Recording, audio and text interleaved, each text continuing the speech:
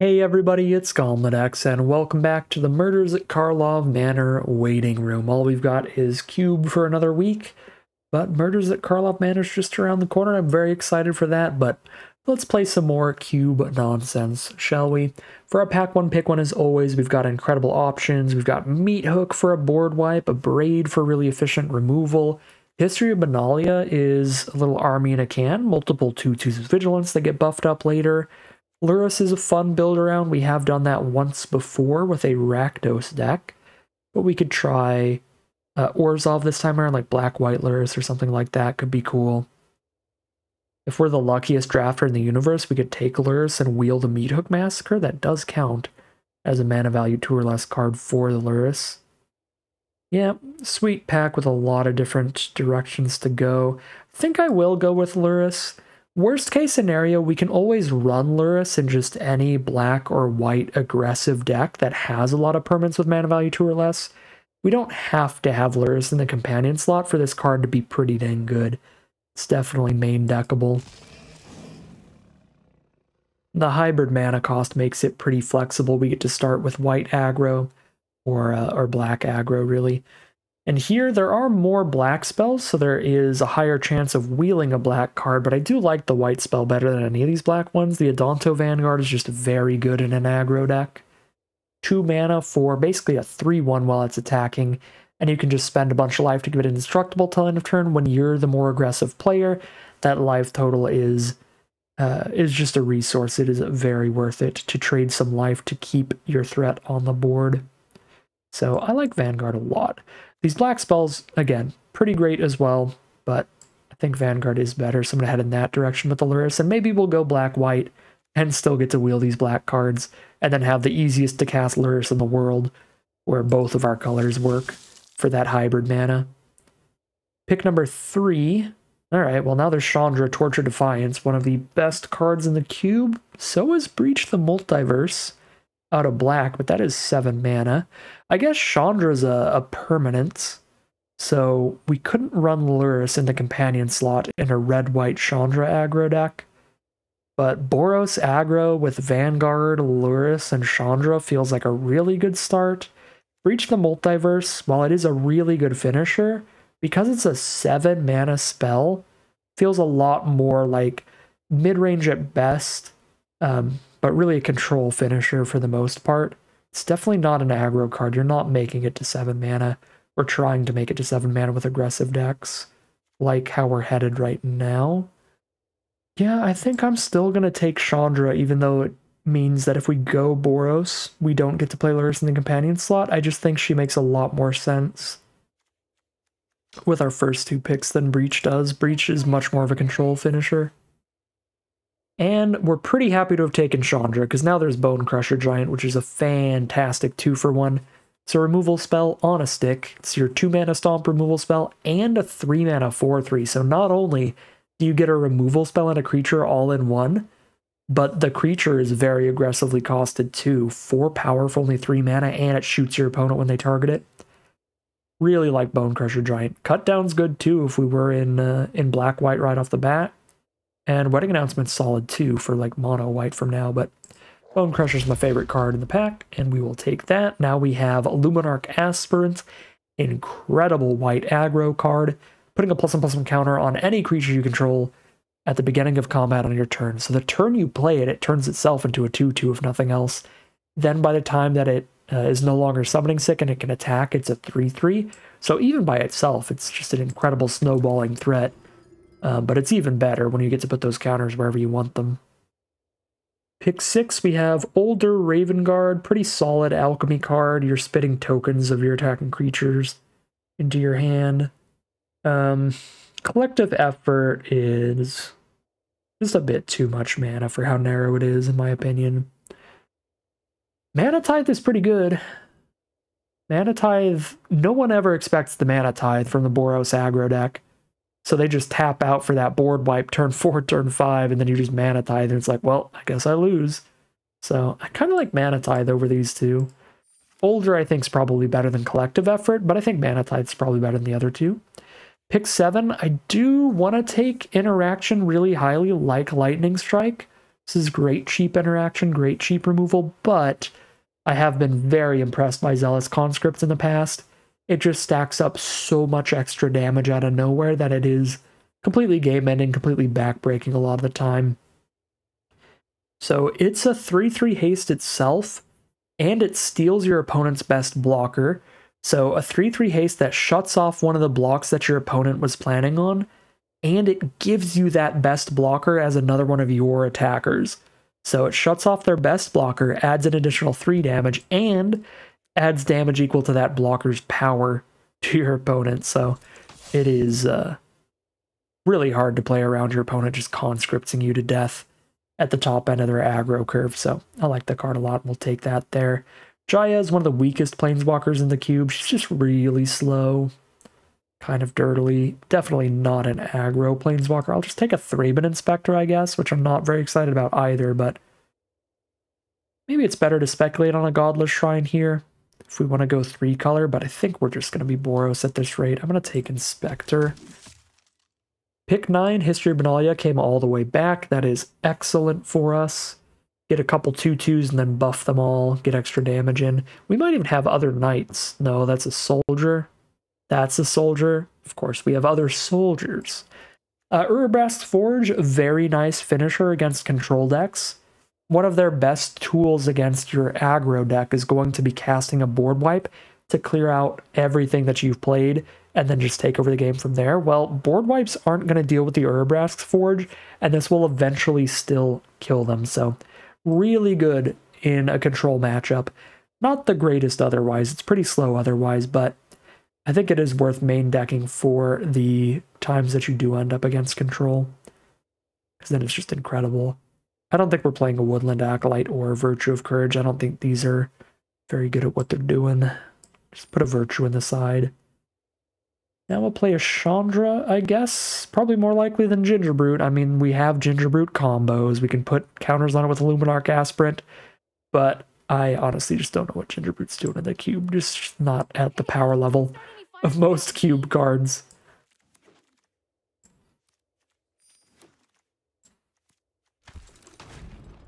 All right, pack two, pick number one. We've got a Fabled Passage for red white fixing which I guess is probably just the pick here. I don't think this pack's very strong for us. I have had a very sordid and just unfortunate history with Abbot of Keral Keep. I am used to playing this card and then not having enough mana to play whatever it exiles, no matter when I cast this thing. So I have just never been impressed by that. I like Spirited Companion, but similar to Gingerbrute, it's just not quite as powerful as almost anything else in the cube. Restoration Angel is pretty cool with Enter the Battlefield effects. It's probably the best non-land card here, but I think we just take Fabled Passage.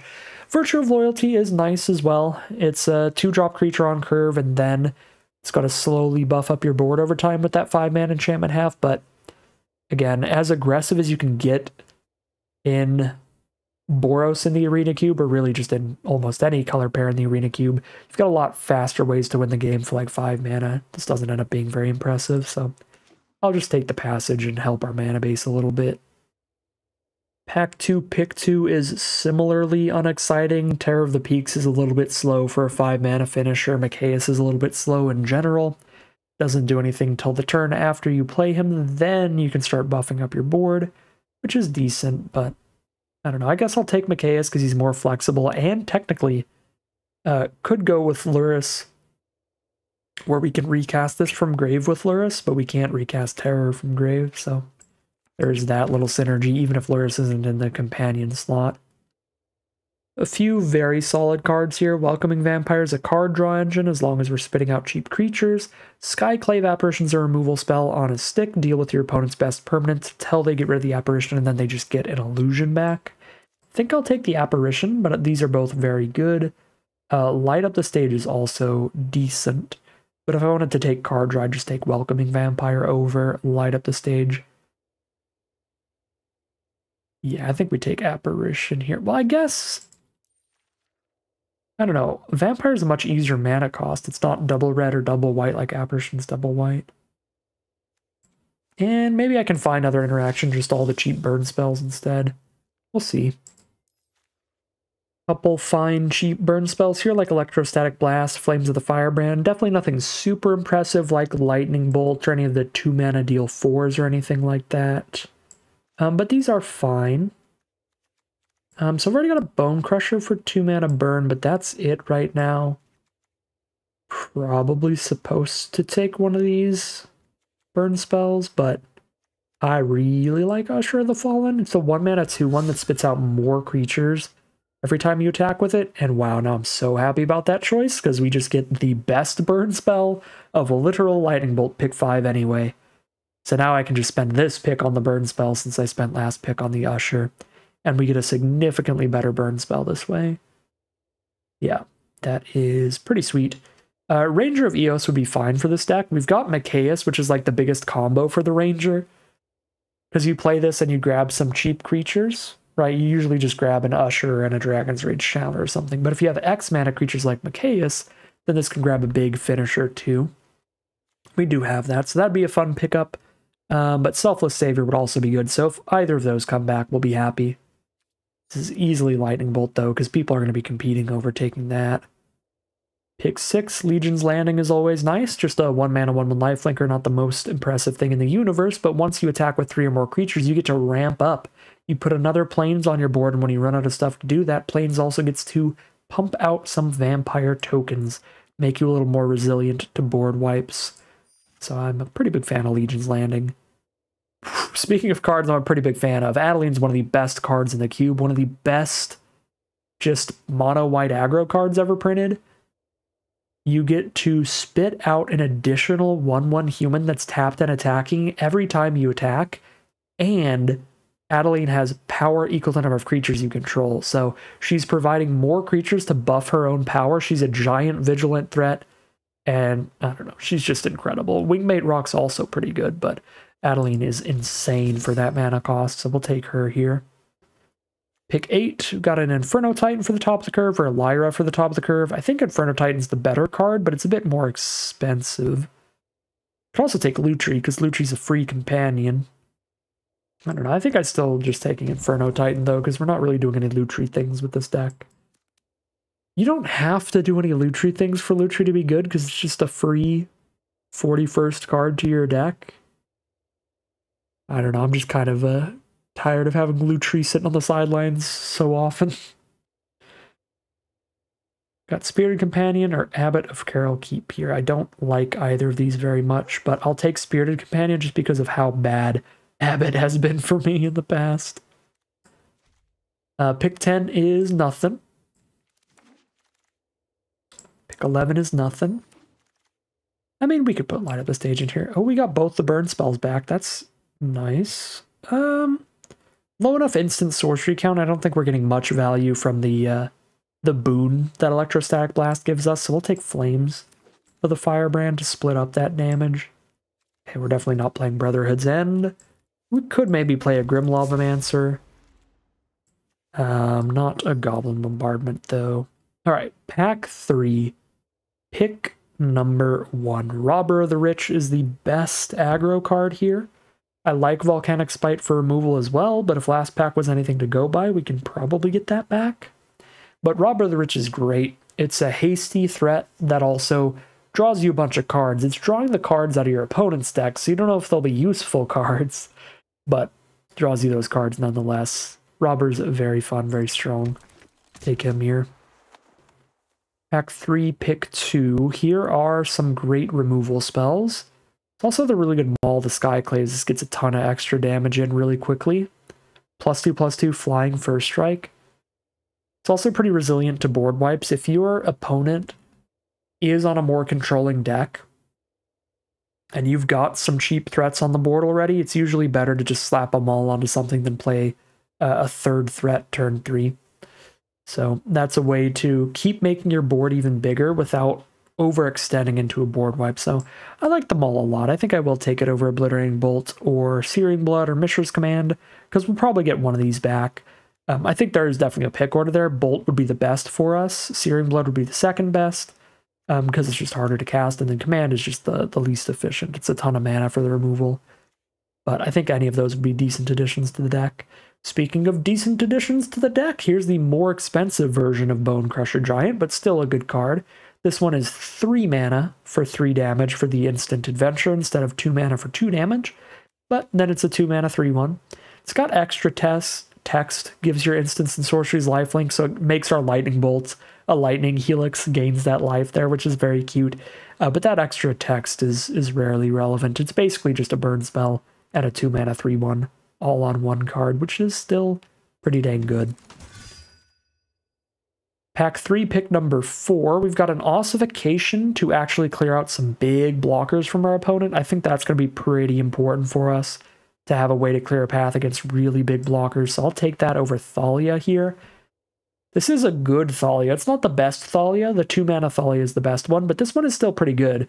Like if we play against a five color Golos deck that's trying to play all non basics, a bunch of fetch lands and a field of the dead, like they just they're so dead. All their lands hit the board tap no matter what. They can't use their shock lands or anything. And when they play their big creatures to try to stabilize or their their zombies, they just also hit the board tap, so they still don't have blockers up.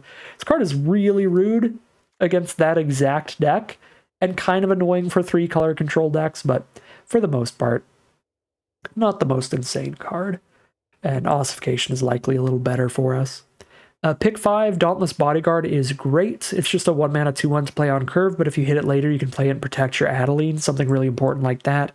Big fan of that card. Bomat Courier is also really good. You get a bunch of haste damage in, and you get a whole new hand because you're putting a bunch of cards under the Bomat Courier, and then once you're out of cards in hand, you sack the Courier, swap out your hand with the Couriers. Um, so that's the second best, but Bodyguard is the best here. We'll take that. Pack 3, pick 6. Ooh, it's literal Embercleave. It's going to be hard to get me to not take that, but I have seen this uh, Alchemy card being pretty wild.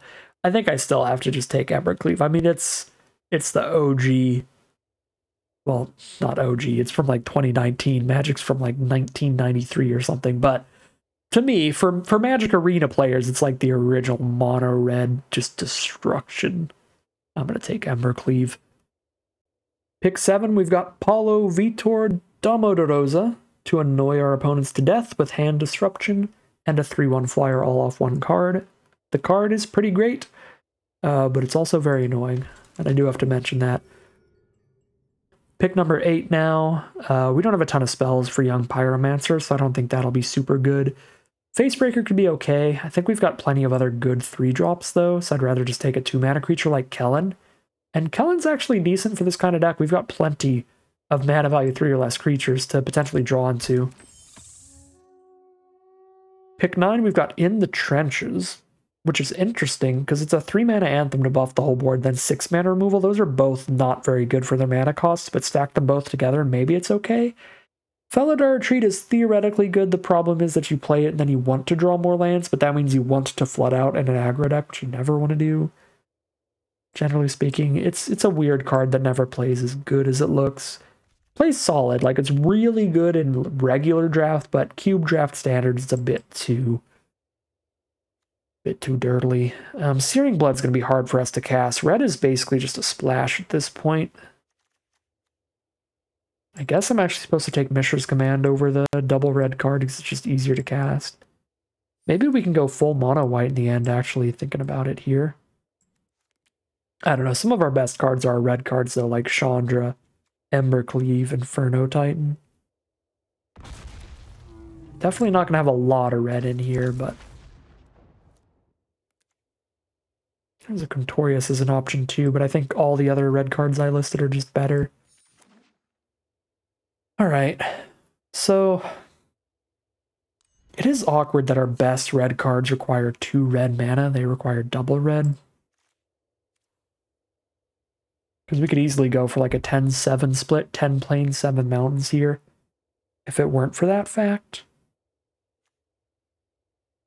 Yeah, I think we are going to mainly cut red spells like Chandra, Flames of the Firebrand, Light Up the Stage, Mishra's Command, Rampaging Raptor, Dragon's Rage Channeler. Oops. Yeah, I want Rampaging Raptor as my companion. Uh, Grim Lavamancer. Yeah, not a lot of red spells. Still going to make the cut in the end. But there's multiple double red ones, like Embercleave is basically 4 mana also. But I guess that's still kind of a finisher, right? Red is just all of our finishers, so we don't need double red till, till late game.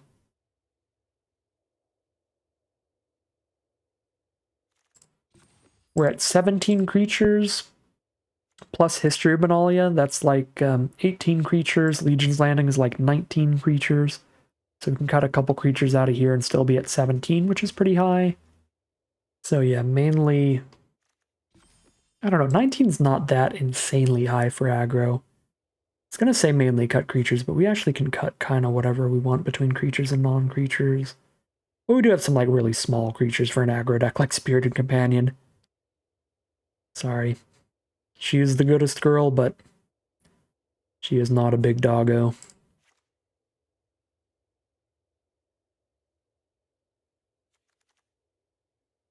Other cards that aren't that great for aggro, Inspector-ish, Mikaeus-ish. These are both really good with Lurrus, though, which is fun. They add to the Kellan count for card draw, too. Those are the two, like, next worst creatures to maybe cut, but I'm going to start looking at the non-creatures. Maybe we'll cut enough of those. Um, and we can cut a land here, be a 16 land deck. Slightly awkward with one six drop, but it's one six drop. That's the important number there, one. So we don't need that much mana that often. Yeah, our average is 2.5. That's pretty dang low. So ditch a mountain. We're at three more cards to cut. So our slowest, least efficient non-creature cards here. I think In the Trenches fits that bill. Anthems are generally not the greatest cards ever. The kind of cards that don't do anything inherently by themselves. They're all about supplementing the other cards you have, making your other cards better. Kind of what makes them a little weak. So for that three mana, it's just not the best impact. And then six mana for removal is pretty bad as well. You stack the two together and it's better than either half individually, but still not very good for deck that needs to just be about pure raw efficiency for the most part. So I'm going to take In the Trenches out. Um, the best thing about Urabrask's Forge again is the resiliency against board wipes, the power level against control specifically, and I think our deck's doing pretty decently against control. We have a few things going for us. So one of them is that we have two really big equipment, Maul of the Skyclaves and Embercleave, so that if we're getting enough aggressive attacks in early, we can start just casting some of these equipment, maybe instead of just playing more creatures into board wipes and that helps uh, have some creatures left over to play. And then any creature we play that has a Maul the Skyclaves on it or an Embercleave on it is going to be a massive win condition later. I think those may give us some resiliency against board wipes, uh, but also the Legion's Landing. If we can get that flipped, then that can keep spitting out creatures. They're not going to be as big as the Forge creatures, but Forge is pretty slow for the non-control matchups. If it's aggro versus aggro, or if we're just versus mid-range, it's just not much damage output very quickly. So cut the forge here. And then one more card to cut. I don't have a lot of removal here, but I still think that March of the Otherworldly Light is pretty inefficient. We need to throw like all of our cards at our opponent as quickly as possible, so we're basically never wanting to exile a card for this to reduce the cost. So this is always going to cost one mana more than whatever we need to deal with, which is hard to justify. Like if our opponent's on the play, this is going to be really bad. Because if they're on the play, then on their turn four, they play a good four mana blocker, and this is my only removal spell in hand. I can't do anything with this till turn five. I have to spend five mana to kill their four mana blocker. Now, that is unless I exile a card from my hand, but then I two for myself really bad. Yeah, I think we cut that as the final cut. And hope that ossification, um, lightning bolts, mana tithe is enough interaction there. And I mean, I guess there's also Bone Crusher Giant and also Heart Flame Duelist. So there's two more removal spells than it looked like. Yeah, that's not horrible at all. Also Inferno Titan, but that's very expensive. I don't know if I'd count that one. Um, yeah, I think I like those kind of last cuts here, and we will call it a deck here. All right, here's a look at our final deck list for today. We're on a really sick Boros aggro deck. We're close to mono white, actually. We're definitely much heavier on the white than the red, but we do have a nice little spice, a nice little flavor added with our red spells. So a lot of the best white aggro threats, cards like Adeline that spit out an entire army off of herself, and she's also just a massive threat alongside your army, usually a very high power vigilant threat. We've also got History of Benalia to help spreading out with a wide board state. We've got Maul of the Skyclaves that can turn any creature we have into a gigantic threat. Same with cards like Luminarch Aspirant that keeps buffing up whatever we need to. And a couple ways to keep that path clear with cards like Ossification to exile the really big threats. Maybe a Mana Tithe well timed can stop our opponent's board wipe and really get them. So Really nice stuff from the white half of the deck, and the spice that we're adding out of red is just a few of the best red cards in the cube. Embercleave to win games out of nowhere, Chandra for extremely powerful flexibility, being removal or card draw or damage or mana ramp. The mana ramp part doesn't matter for our deck, but the card draw or damage from the plus one and the removal from the minus three are both great for this deck. Uh, and then, of course, just the best red card, Lightning Bolt, the classic, the original the very fantastic burn spell. So really powerful stuff with this deck. I'm pretty excited to see how it does. So without further ado, let's just head into the gameplay, see how it do. Here we are on the play for game one. This is a pretty awkward hand that we don't have any creatures, but we have really good interaction. We can try to just win off a Chandra, so I'm going to keep it. I'm not in love. This is not our deck plan. But as long as we're not against control, we should be good. If we're against control and we just have two removal spells and one planeswalker, they just counter this and then we lose. It looks like we're not against control. They're going to start with a Dragon's Rage Channeler, which is fine. I don't think I need to insta-bolt that.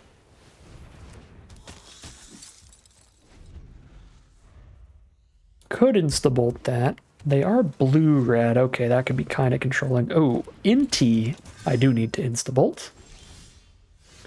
Dauntless Bodyguard's the draw. I will pay 4 life to kill either of these creatures. So let's attack with Vanguard into this. They are just not going to block. So let's bolt Inti. It's the scarier card. Putting plus and plus some counters trample onto their board. Now could ossify Channeler. That's not necessary though. So let's just Bodyguard. World's most awkward Dauntless Bodyguard because we're just protecting something that doesn't need any protection. It already has its own indestructible ability. But that's just kind of the order we drew them in. Okay, Ledger Shredder, I might ossify. Although I have got Chandra mana, so we'll just Chandra the Ledger Shredder.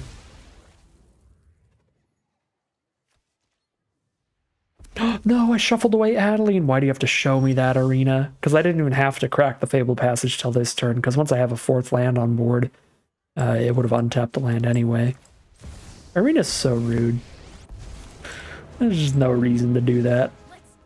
Show me the Adeline on top. Um...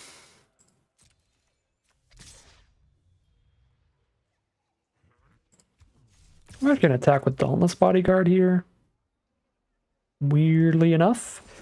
Because this makes it so if they try to removal spell Vanguard to hit Chandra, then we can sack the Bodyguard rather than using Vanguard's ability. Because I think you have to tap this.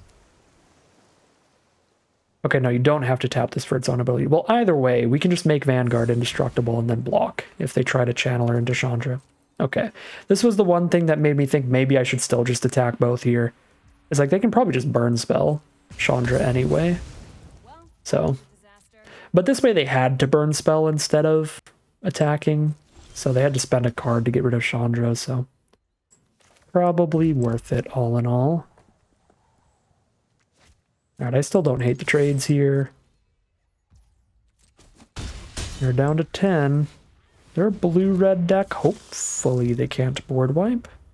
There are some red board wipes, though, like 3 damage to everybody or 5 damage to everybody definitely not anywhere near as uh, as many as you have in white and black. Those are the big board wipe colors in this cube.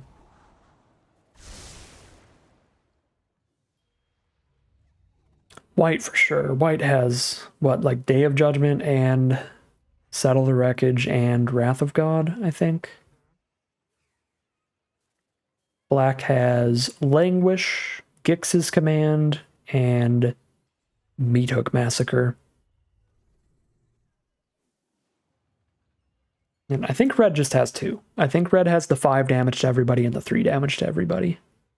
So, still definitely an amount of board wipes, but not an insane amount. Ooh, Mikaeus. Mikaeus, I want to play you as a 2-2 so I can draw a card. And then I still have Ossification mana up if that is relevant. Oh, no! I should have held double red up, then they'd just be dead to Embercleave, probably. Alright, well. I mean, Ossify's fine here, I think.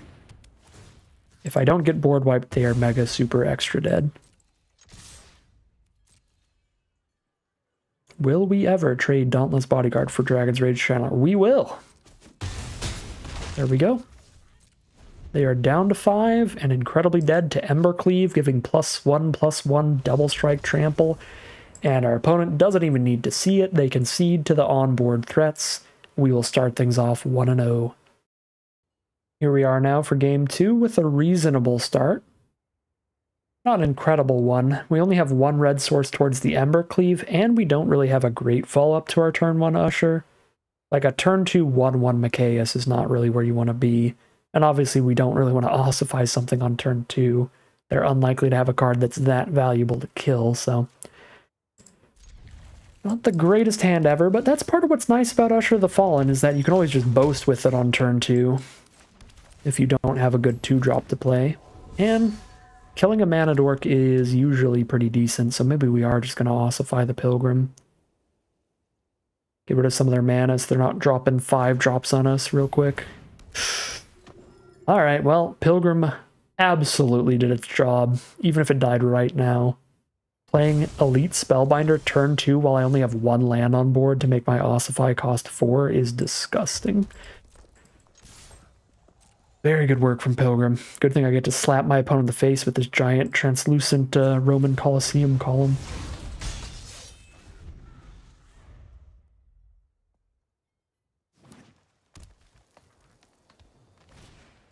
Sometimes Arena just be doing things, and you have to go with it. Alright, Selfless Spirit and Beast Caller. Pilgrim has really done its job. Honestly, I feel like uh, we're just losing to Avacyn's Pilgrim.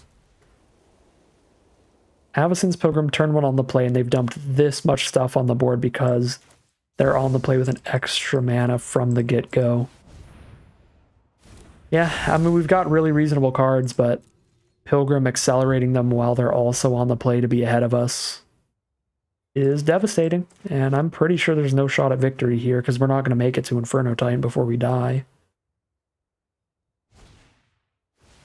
Oh my god.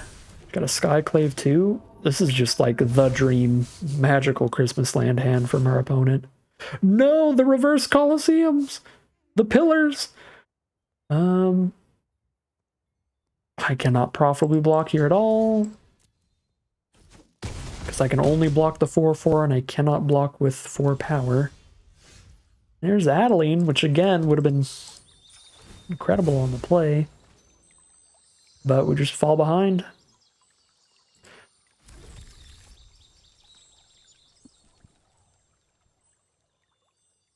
Twelve life, so I'm not dead. If I try to Chandra anything, I'm only killing a selfless spirit, right? If I try to Chandra the 3-1 flyer, the 4-4, I'm killing a 2-1 flyer. If I ossify the 4-4, I am actually ossifying it. feels like my best line, but also like it's not enough.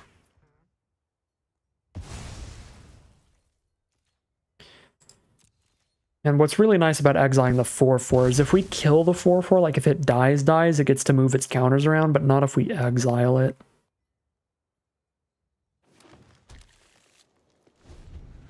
Yeah, Pilgrim into turn 2 Spellbinder on the play is one of the best things I've seen happen on turn two in the cube, period. That disruption is phenomenal. All right, our play lined up exactly as well as we wanted it to. We get to trade with the 2-2, have a 1-1 to block there, 1-1 now. Oh, Manatee, that is not what we want to draw you.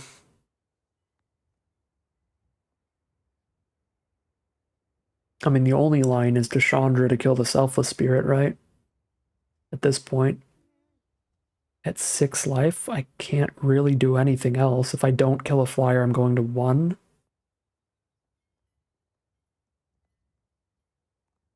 Yeah. Chandra, kill a selfless spirit, then they can kill Chandra really easily.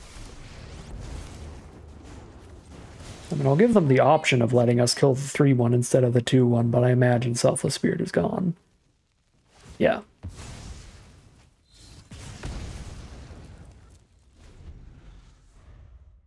They top deck removal, we are dead on board. If they don't top deck removal, they probably put us to three and kill Chandra.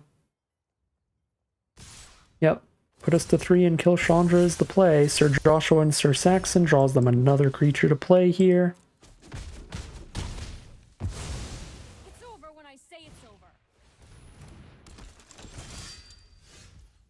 Okay. That is game. All right, just had to make sure that I didn't forget my numbers five and six. Like, we don't have Inferno Titan mana, right? Even if we did, that's game, because those things are three toughness, and they have battle cries, so they would both attack as three threes on the ground. So Inferno Titan could hit the board, kill their flyer, and shoot them for two, but then I would die, because I only block one of the three threes on the ground. All right, yeah, I mean, not much to be done there. I don't think much of that was really gameplay decisions. It was just a phenomenal hand from our opponent. We are one and one heading into game three. Speaking of phenomenal hands, this is not quite there because our white source is tapped, but it's close. If we had a Plains instead of Fabled Passage, this hand would be incredible.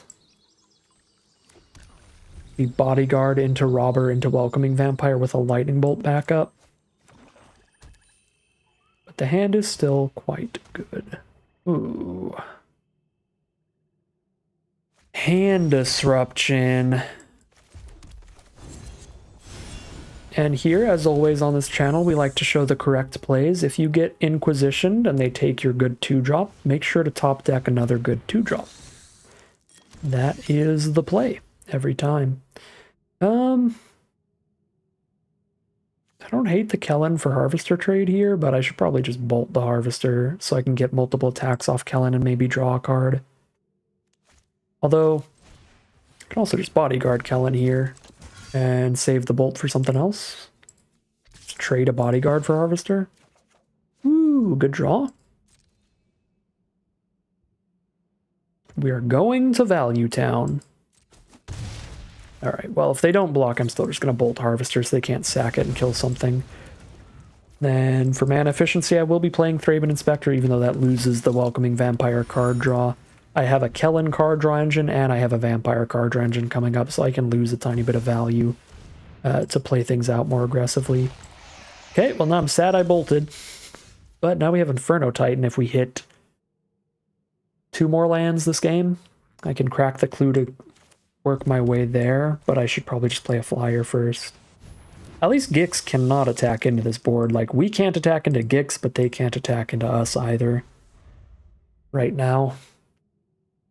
And this thing is like a card engine. Every time they hit us, they pay a life to draw a card. If they get to seven mana, they can like steal some of our cards, but our cards are all pretty small um, in terms of average mana values. That's not that scary. Rankle is scary. 3-3 flyer with haste to get right past my welcoming vampire, and now they can just make each player discard a card, and we don't have Inferno Titan anymore. That's incredibly rude. That lines up so well for our opponent. Oh my god, yeah, they draw a card off Gix and make us discard a card off Rankle. So they draw and discard a card every turn, and I just straight discard a card. That is actually just more just cube magical Christmas land nonsense that I wish we had. But we're just on the other end of the table from Magical Christmas Land today. Like, our deck is playing out with stronger curves than the majority of the other decks that we've been going like 6-3 with. Uh, and we're still dying because our opponents are just doing insane wombo combos. This game is not over, and Aspirant's a pretty good draw. But I don't like the things our opponents have been capable of. I think I have to just slam down landing against the Rankle. Gonna let them keep poking me with Rankle rather than putting a counter on Vampire when I get damage in here. No, I actually did want to draw a card off Rankle there. Or Kellan there. Come to think of it, because they're just going to make me discard it to Rankle anyway.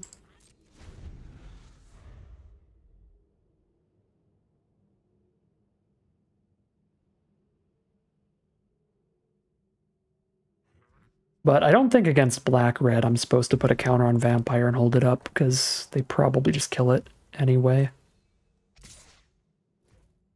think I'm still attacking with Kellan there, but maybe I shouldn't have played Legion's Landing until post-attack in case I hit something bigger to cast like a Lurrus. Although I still wouldn't have had the mana up for Lurrus. Because I had to Aspirant pre-combat either way.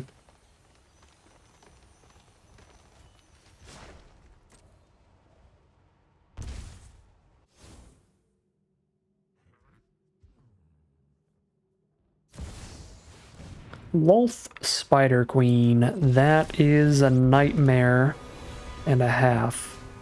Two two ones with Menace and Reach, and if we don't immediately kill Lolth, she's gonna get a bunch of loyalty back as their creatures die and just make more spiders.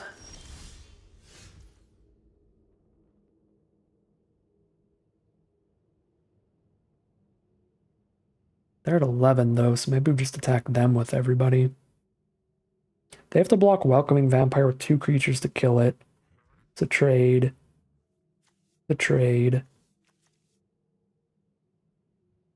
Counter on bodyguard, attack all, flip Legion's Landing. See about a race here? Yeah, I'm not in love with our options.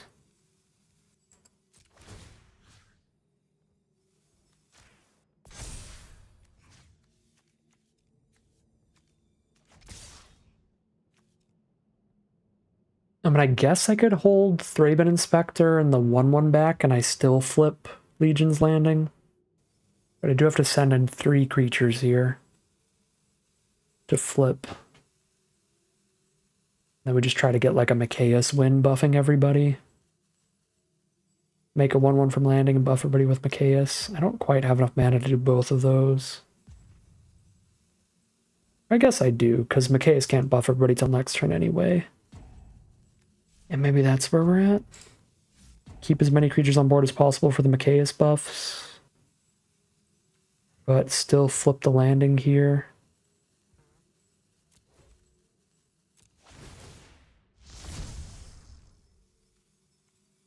Land to grave.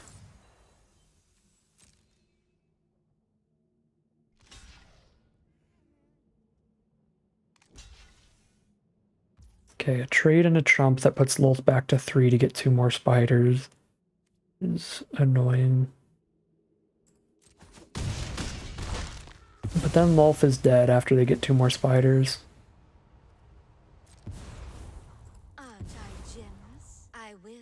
Oh shoot, I guess I am one mana off from what I'm trying to do, because I need three mana and tap Adanto to get the 1-1. So I could play a Mikaeus as a 0 0 and still do that because it's four of my lands I have to tap here. I guess it's Mikaeus for two and draw a card then. So I should draw the card first in case it's something better.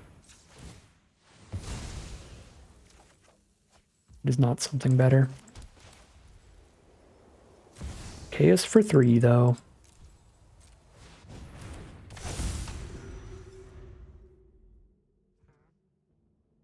least we're empty-handed, so Rankle doesn't do anything crazy.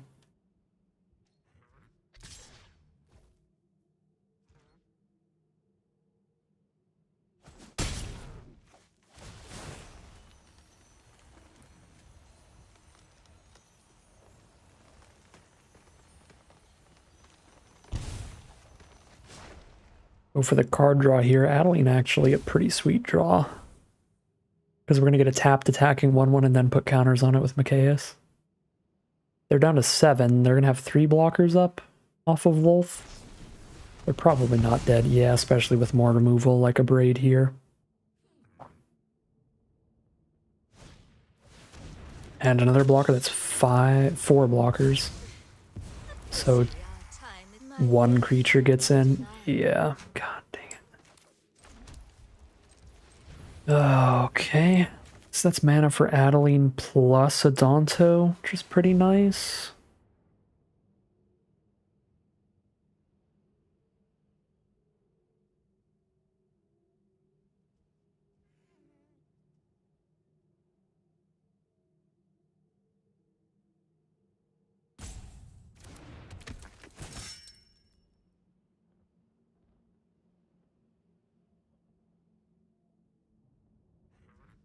Instant speed, yes. Okay. Put a counter on Aspirant, so if they block incorrectly, Aspirant still lives.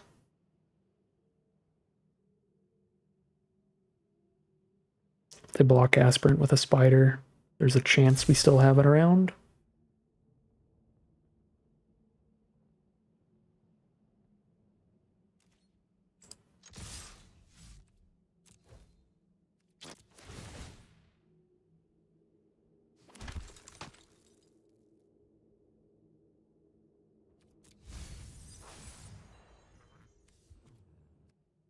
They have to block multiple creatures here. But one of their creatures survives no matter what. Okay, Aspirant's trading with a Gix. That's not bad. Never mind. They have redone blocks. Oh, Aspirant's gonna live. Oh yeah, they just don't care at all about Aspirant. That's fine. Nope. I'm going to stop speculating until I get to activate abilities. Okay, well, we kill Gix and Preacher here. That's pretty good. It's pretty dang good. Also, we put them to one.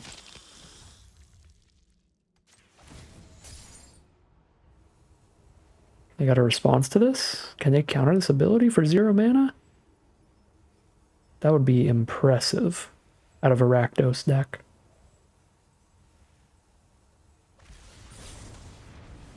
They can kill Adeline in response. Okay. So we still take these trades and put them to one, right? Yep. Okay. Super close game. One, two, three, four, five, six, seven damage here. Oh my god the double rankle. It's 8 plus 4, which is exactly 12. Oh my god. Please ask me if I enjoyed this game, because I don't think I enjoyed a single second. Nope. They didn't even ask. Well, I don't know what else I could have done for the most part think that's about as aggressive as we could have gotten towards those crackbacks. It played out about as well as it could for us too, with those counters on the board there, getting those huge trades. I don't know. I think that was probably what we were supposed to do in that position, but one and two it is. Magical Christmas Land for opponents continues. Hopefully, not three games in a row, but we'll see soon enough as we head into game number four is our riskiest hand so far, our riskiest keep so far by a little bit, because we do need to hit a white source here to be really happy. Um, but that's not saying much, because the hand is not very risky. Our other hands have just been uh, very good, generally.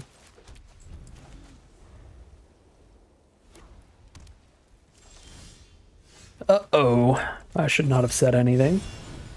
So we're against blue-white here, so probably blue-white control.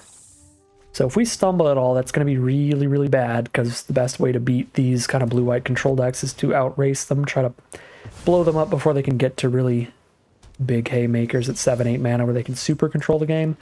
All right, perfect, right on time.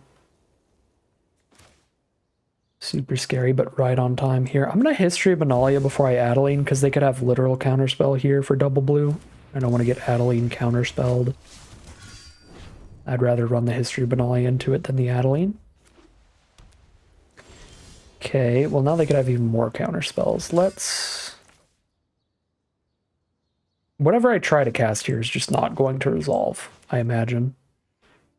So, post-combat elite spellbinder probably. That way maybe they spend some mana on instant speed removal, and if they do, then I Adeline. Okay, yeah, so... Spellbinder, get that countered.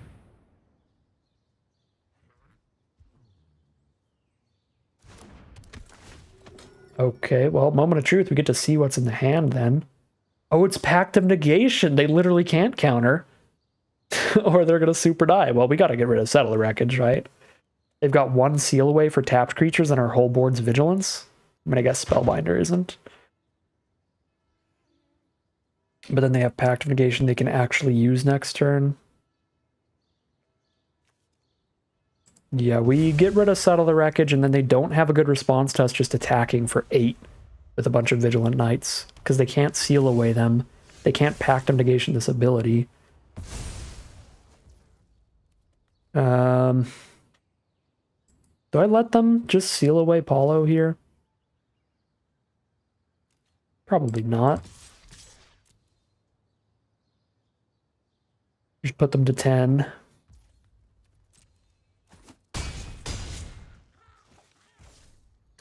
You know what's kind of annoying is that they're going to have Pact of Negation and Snapcaster Pact of Negation.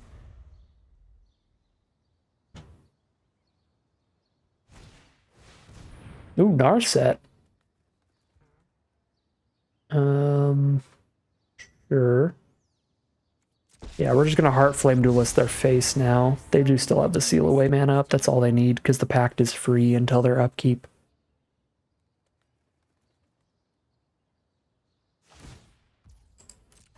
I don't know. Maybe I should have just played Adeline into the Pact because then they tap out and we hit for seven anyway. Seven, eight, nine. Almost lethal. Actually, one, two, three, four, five, six, seven. Yeah, we probably could have killed them if we just cast an Adeline and they pacted. Because they'd have been tapped out and then we hit for seven and three more. That's ten. It's Bonecrusher the face.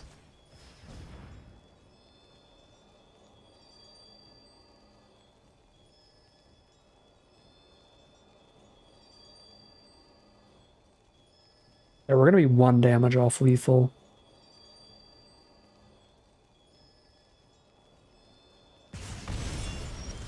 This way. Oh, my tap land.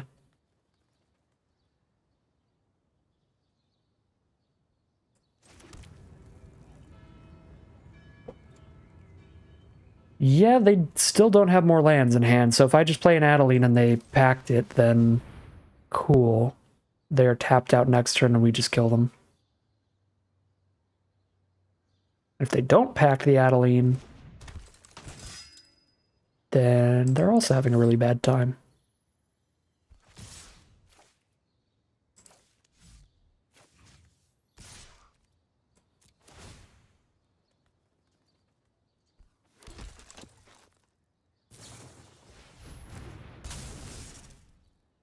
All right. I was going to say, I don't think it matters where I point Paulo, because I'm pretty sure they're just going to seal away while I have the mana up. But I will point Paulo at Narset to send a message. I'm not going to go for the onboard lethal, because I know if I attack you for lethal on board, you'll just seal away Paulo anyway. Alright, so they didn't pact, which means two, three, four, five, six. They have the six mana up for Settle the Wreckage, so we attack in so that they tap out? No, because then they just have Pact. Shoot. Shoot.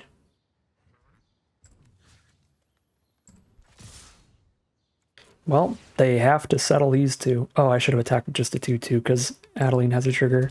But this way I'm threatening them for lethal and Narset for lethal. Okay, cool. So they aren't tapped out from counter spells because they have specifically Pact of Negation, which I need to keep reminding myself. Oh, and I just had three creatures. I could have gotten three lands. This has been a punty game. All right, well. Let's just cast Chandra so that they have to pact that. And then they tap out next turn. Unless they top deck a land, they won't have the mana to Snapcaster the Pact of Negation. And then we can kill them, kill them with Heartflame Duelist. Right? So weirdly enough, Chandra is the bait to get Heartflame Duelist to resolve. Um, but also? I guess, um, also if they pact, they have to tap out and just die to our board too. So I guess it doesn't really matter. I could play like a complete buffoon in this game. Our hand is just good enough. And I kind of have. I am out of here. That's just how we roll, right? Play the worst in the games that we win and play the best in the games that we lose. Let's go. Show me what you got. Because your settle's gone. You don't have the mana to snapcast your settle.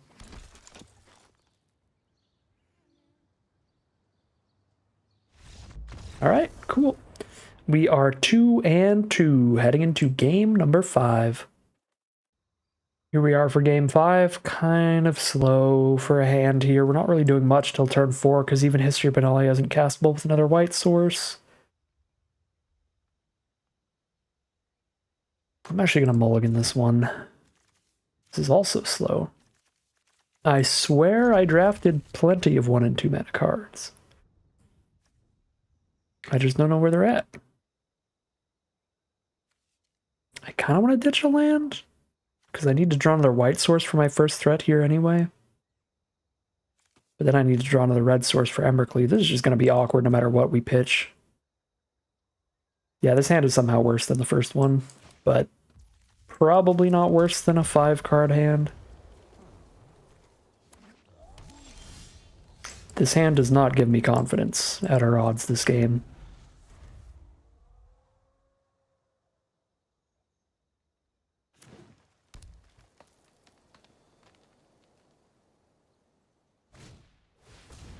Huh, they never expect the mana. I think I have to kill the mana ramp here. We don't want a repeat of what happened when our opponent Avacyn's Pilgrim does turn one.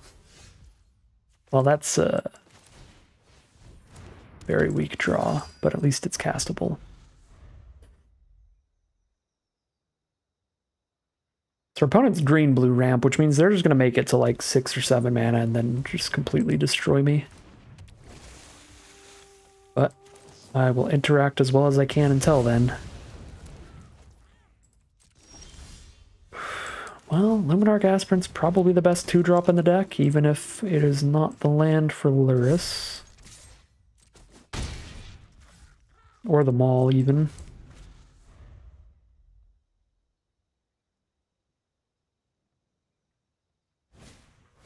Tireless Tracker, excellent value play from our opponent. Gives them one clue minimum. Come on, land. Yes, let's go. Um, buff the bodyguard and send it in. Then if they trade it into tracker, I can recast it off Lurrus later. Actually, kind of like playing Maul here, because then I can play Lurrus and recast Bodyguard in the same turn which would be real spicy. Because I can't actually recast Bodyguard right now, so let's maul up the Aspirant and attack both.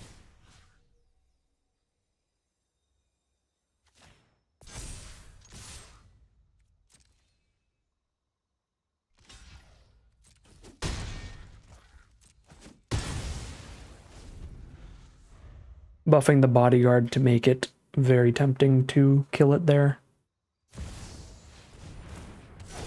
There's Nissa, which is a Lotus Cobra.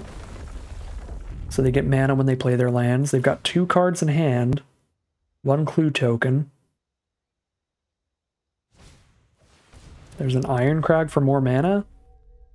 I mean, it depends on what that last card in hand is, but we might have a shot here. If the card in hand is a 6 or a 7 drop, 6 and 7 mana spells in cube are insane. Okay, it's just another mana dork. Let's go. Alright, well I hit another land, but it's not a white source, so I don't get to Lurrus recast bodyguard here, so that's kind of sad. I do still get to just play Lurrus, which is fine. On board, we're just winning the game with just an aspirant with a maul on it.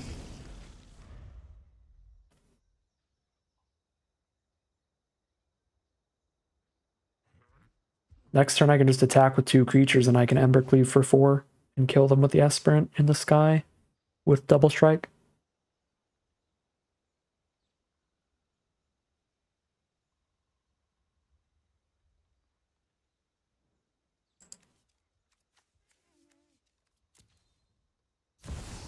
Oh dear. Oh dear. That blows up our Maul the Skyclaves. And then it starts making 8 8s on the ground. 7 7s on the ground. Oh dear. Oh dear. Oh dear. Okay, so they're at 10 life. If I attack them with both of these, one of them breaks through for 8 damage, which doesn't kill them. But it puts them to 2. If I attack Nissa with both of these, I get to kill Nissa. But then they're still alive. I guess they're still alive with only a Bramble Familiar on board, so we're probably supposed to kill Nissa here. Because I can't imagine they're going to have much better odds of stabilizing than slamming down 7 7s every turn. I do not love this.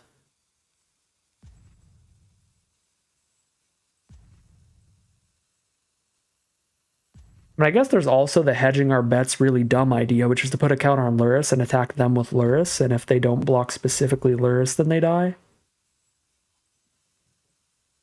Let's get stupid. I'm going to attack them with both here because if they on board, they can block Aspirant and kill it. Oh, that was actually a very smart play from our opponent. I was going to say, on board, they can block Aspirant without losing a creature, so it's such a tempting block for them to just block the Luminarch Aspirant. But if they do that, they die to Embercleave. They don't do that, they go to 1. But they're not dead. So, the safest play, regardless of our opponent's choices, would have been to just kill Nissa. But I feel like this this made it very easy for my opponent to misplay into losing the game. They didn't. So they have they have earned their spot. They'll be here. And things are looking real bad for us. Because now the Nis is going to stick around popping off. Okay. I mean, they need to top deck like a champion again now. Because Nissa can't do anything about the Welcoming Vampire. So they have to draw removal for this, or they have to draw. Well, I guess I give it indestructible. Um, they have to draw a reach creature, actually. Oh my god, now if we make it to 8 mana, they also die. They're at 1 life, so I'm not going to buff Vampire anymore. I'll just keep buffing our life linker. I don't actually think I want to attack with Lurrus, though. Because then I just trade Lurrus for Lovestruck Beast. But Lurrus's ability is really nice. If nothing else, I can sack Bodyguard and recast it to draw a card looking for more mana to get to Inferno Titan. Their poor Flooded Strand. Very fitting name. It's stranded on the board because they don't have the life to use it.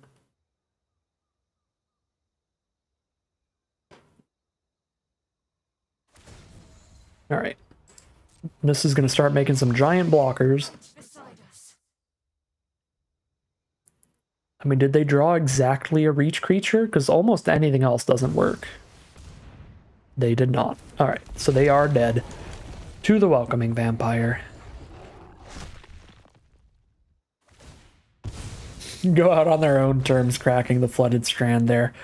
Really did not expect the win there. This is probably our most awkward keep so far. Mold a six. It wasn't a great six card hand. Lurrus was like the only threat, but we had some real solid draws, and our opponent's keep wasn't much better. They had plenty of little mana ramp cards, but they didn't have anything to ramp into. So by the time that they drew into their giant threat, their Nissa, we had already drawn into plenty of threats of our own. Uh, since they didn't get to really play Nissa till like turn seven or eight or something. So, all right. I don't think I played that one out correctly. I really liked the idea, right, that attacking with Aspirant Lurrus, like they can kill Luminarch Aspirant without losing their Nissa. So it could tempt them into that block, but obviously they were not tempted. So in hindsight, it was definitely better to just kill their Nissa. But also, just the risk free play was to kill the Nissa because no matter how our opponent plays, we get to kill Nissa if we attack her with both. So, probably should have done that there. That was kind of the only line that I think could have been different from what we did for the most part. Everything else worked out well, I think, but thankfully, we still do get there in the end, drawing into the flying threat, and we are three and two hold ourselves back out of the 1-2 hole into at least the 50-50 run here, but we'll see if we can take it any farther as we head into game number six.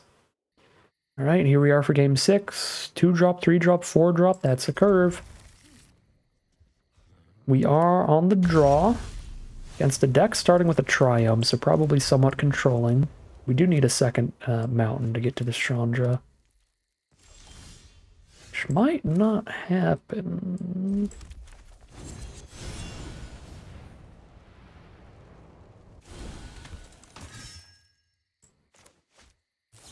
I'm going to play Paulo before uh, welcoming Vampire here so we can see exactly what's going on with our opponent. Looks like they are pretty multicolored. Yeah, probably five color when we see red, blue, white, red, black, white. I guess we haven't seen any green sources yet because the fetch lands don't really count. You don't have to be playing green for that to be a good fetch. But then they play History of Benalia? Strange. Not the kind of card I would really expect from a four or five color deck. Red, black, white?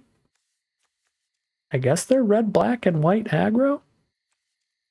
All of these cards are really annoying. The aristocrat is really difficult to deal with. The edict is just going to kill Paulo, and then siege gang. It's the most expensive card, but those goblins can kill a lot of our stuff. I think we have to just get rid of aristocrat here, though. Let them edict Paulo.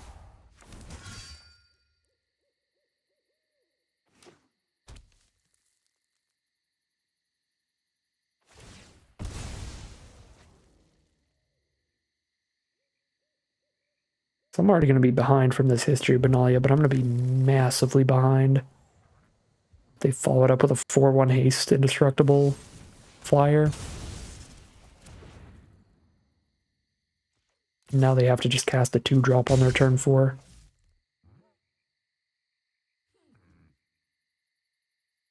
They top decked another castable spell. They were holding there for a while, so it looks like they did. Please tell me it is not removal for welcoming vampire. Okay, it is not. So we do get to draw the card here. Go down to 13. This is going to be a big chunk of damage. Is power two or less right? Yeah, so Kellan draws me a card off of Welcoming Vampire as well. Ooh, Intrepid Adversary was their draw last turn. Buff their board even more? That's real gross. I guess this isn't going to chump more damage anytime in the future. Could stick around to help flip Legion's Landing, but it's going to be difficult to attack in with three creatures soon as well. I think I need to chump. Oh, goody. That is actually awesome. Um, so I can Inferno Titan next turn. That will be a very big deal. If I Chandra now, Chandra's just gonna die. I guess I could Chandra and Kellan, and Chandra's at 5 loyalty, and I've got two blockers up to protect her. That is interesting to me. Five loyalty, two blockers up, block, block. She takes three. But then I lose Welcoming Vampire in the blocks. I don't think that's worth it. Let's just play Kellan and see what we draw. But then I don't have Chandra mana up since I didn't play Chandra and add the two. But I feel like Chandra just dies if I play her. So let's not do that. I'm going to threaten blocks here. So that maybe we get hit a little less hard. Because I feel like we're just all in on Inferno Titan. Yeah, they didn't even attack. Feel like if I only left back a 2-3, then we would have taken 6 damage there minimum. So that was awesome time. So, Inferno Titan, 3 damage, split where I want it. That's going to be I want to kill the Siege Gang Commander so they can't kill any of our stuff, but I also want to kill adversaries so it's easier to kill their other guards.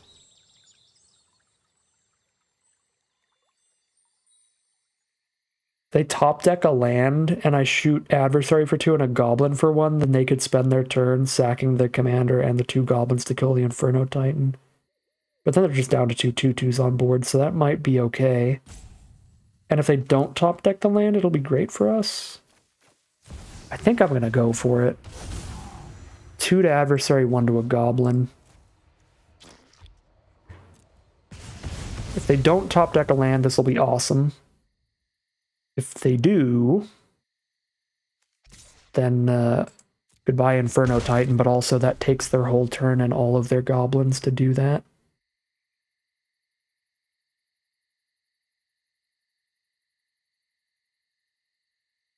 Now we are attacking with Welcoming Vampire since two threes beat two twos on blocks, so we're already scaring them off of attacks.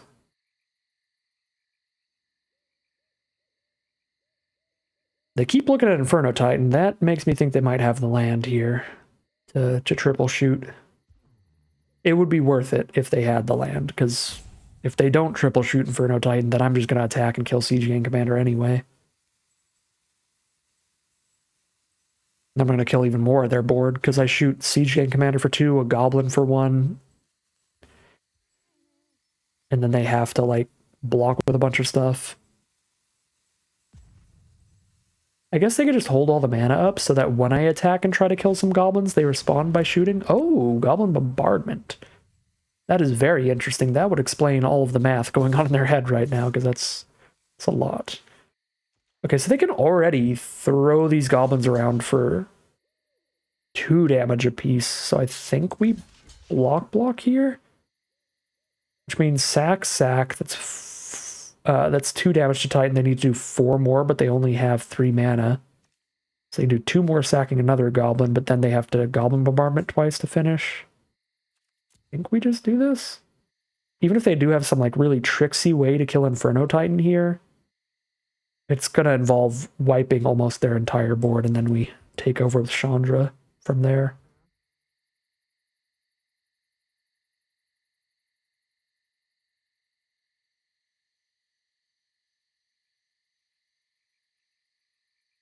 Oh wait, yeah, they can just let this deal the damage and not sack it, and then that's three.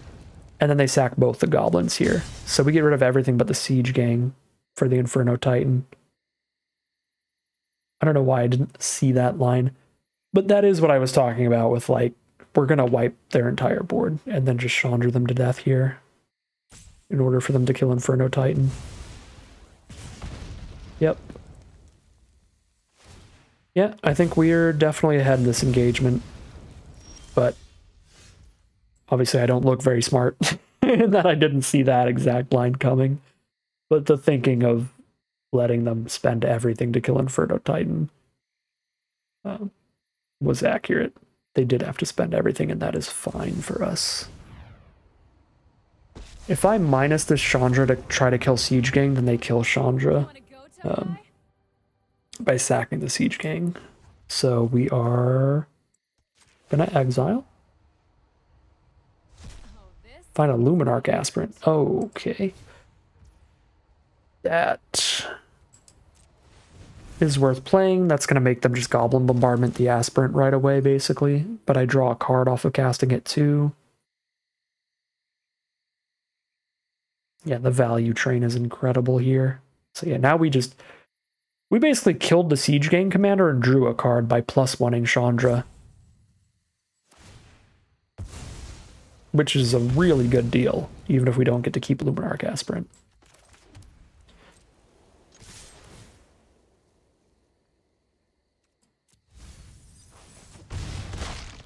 Okay, if they hit a land, they can haste out their um, their flying haste thing, hit Chandra for four, and then sack it to finish Chandra, but then they have literally nothing left.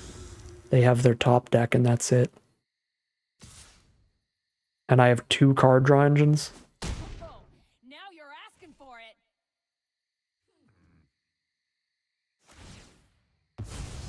Yeah. Again, like, we're letting them kill our stuff, but that's because we're in a position where we have several card draw engines and they have none. And we're forcing them to constantly two for one themselves into our cards. So we just come so far ahead in these exchanges. Now we get to flip Legion's Landing too. I will keep a Zealous Conscripts.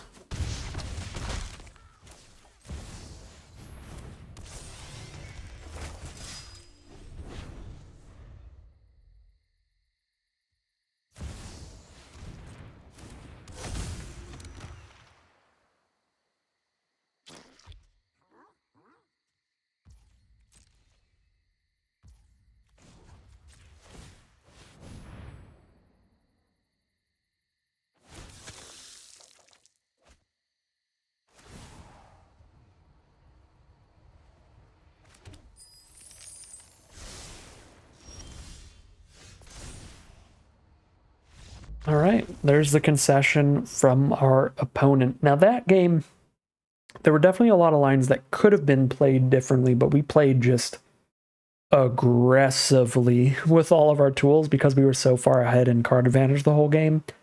We were just like, yeah, that's fine. We can let them kill our stuff by throwing a bunch of theirs at it.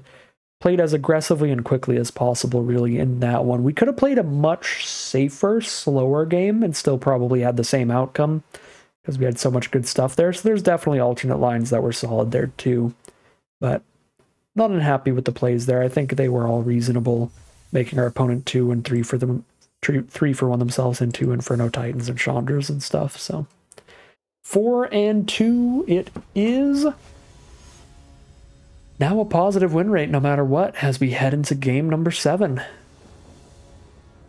All right, here we are on the play for game seven with our mono white aggro deck. Let's go. Sorry, robber of the rich, but you're not invited to this party.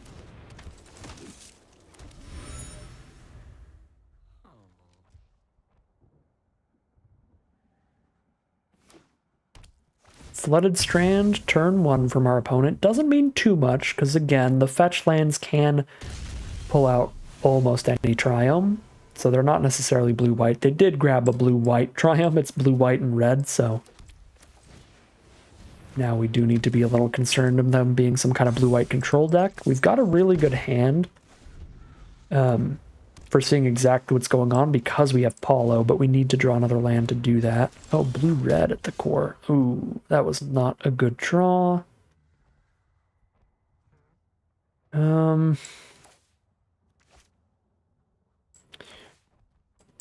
I might have to crack the clue and really hope to hit land 3 here so I can still play land for turn. I'm tempted to play Mikaeus and put another counter on him so he's a 2-2 so we can put a counter on the rest of the board, but I can't really miss a land drop here, so even if the clue doesn't find a land, it gets us closer to 1. Yeah, and if we didn't crack the clue, then it was about to be multiple turns from hitting land.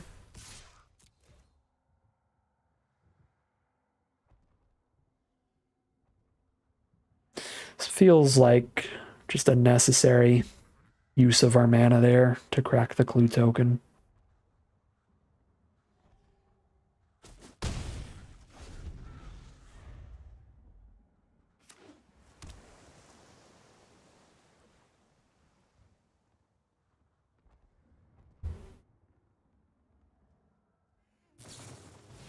It's an electrolyze, kill the aspirant, draw a card.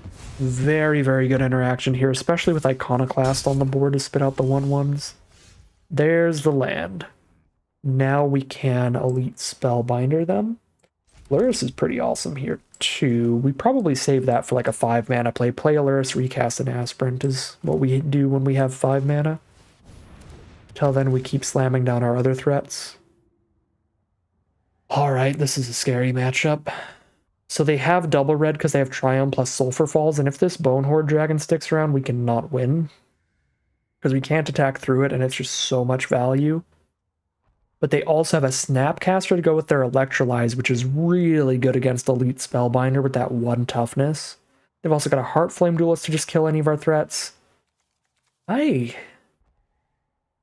don't know if we can win here against this, but think our only bet is to not just run into a Bonehoard turn 5. We are never breaking through that. Yeah, this is not good for us. That hand is really, really good against us.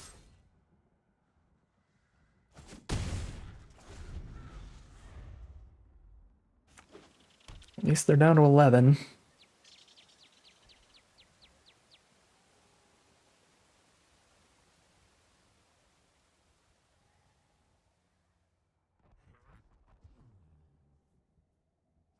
And they can just Cyclonic Rift our Inspector to make it a 1-2 again. They are going to Heartflame Duelist the Spellbinder, though. Fair enough. Guessing that means they didn't draw fifth land. It's not an untapped land, which I guess doesn't matter, actually. I mean, I guess I could have Robber the Rich plus Adanto Vanguarded here, which would have been really nice, but... It's not as big of a bummer as I was thinking. Chump block for the turn. Drop Welcoming Vampire. Yeah. Pretty sure. We hit land 5, Lurrus, and then play the thing, well... Literally couldn't have seen that coming because we looked at the hand and it wasn't there. That was a top deck last turn or this turn. That's rough. Lose the one flyer. Now we can't Lurrus and then start putting counters on it. Probably just dead now to Iconoclast. Alright, well, thought I was dead when I saw the hand. I had one turn after I saw the hand where I was like, okay, maybe we're getting semi somewhere here. Uh, but no, I mean, we're just super losing at this point. Sadness.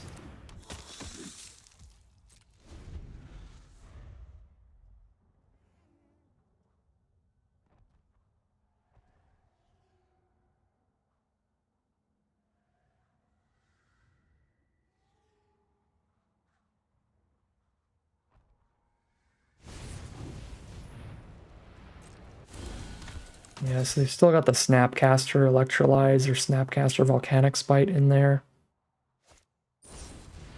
Stoke the Flames my 1-2. That is just rubbing it in, really. Get the lifelink from the Heartflame Duelist to get way out of range. But spend the 4 damage burn on my 1-2. Is a play. Shoot myself in the face for four to kill another 1-1 here.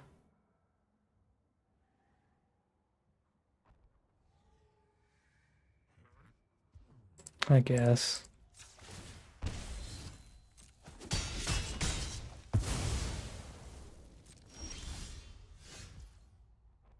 That is not land 5 for the Lurrus chain, so we can make a 1-1 Mikaeus and a Robber, or we can Lurrus and make a 1-2. So we just get the 1-2 again.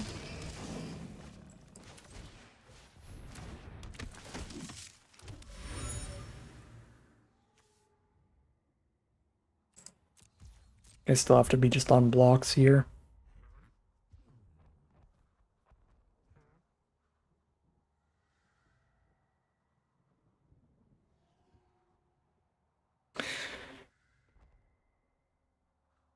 Yeah, a couple awkward things here. I think they've just got a lot of great cheap interaction against our kind of deck. And we stumbled a little on mana early. We didn't hit land three on turn three. We had to even crack a clue and still didn't hit it turn three, which was super, super awkward. Meant we spent turn three not even impacting the board. And then, of course, just not having cheap interaction for Iconoclast means they just have an infinite wall kind of like our first two losses, this was just things kind of playing just really well in our opponent's favor. I don't think there was anything we could do. This time, though, our deck did stumble a bit. Our first two losses, it was like our deck was curving out better than, again, the vast majority of our other Arena Cube decks. Like, it was doing really good stuff really quickly. Our opponent's decks were just going even nuttier this time, uh, this time there was some stumbling for sure.